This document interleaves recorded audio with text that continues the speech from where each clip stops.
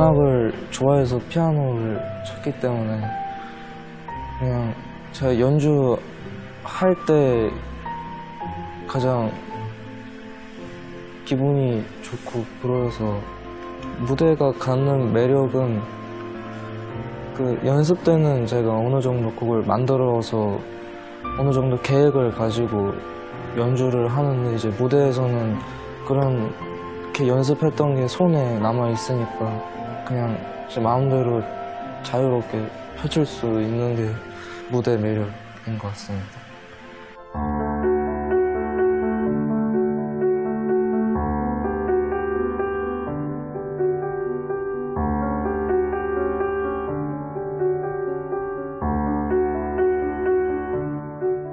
바흐는 되게 어떤 사람은 되게 기계적으로 연주하기도 하는데 그것보다는 오히려 더 낭만적으로 쳐도 될 것 같아요. 왜냐하면 화성을 가장 잘 이해하고 쓴 작곡가라 생각하기 때문에 또 감정적으로 다가갈 것 같습니다.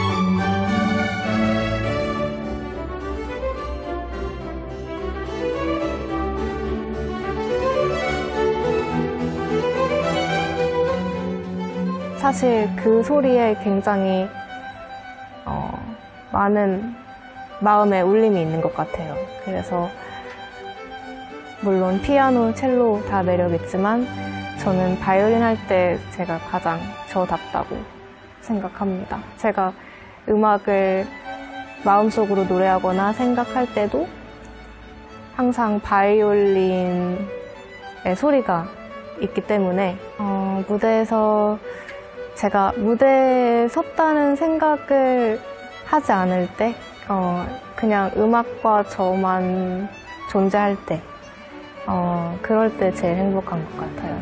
자기 소신을 잃지 않고 쭉 음악을 사랑하는 그 마음, 어, 주변 어떤 말들에 영향을 받지 않고 자기 소신을 지키면서 오랫동안 네, 음악을 하는 게 어, 음악가의 길이자 어, 행복 아닐까.